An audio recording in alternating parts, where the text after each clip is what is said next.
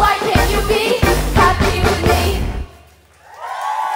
Thank you guys so much.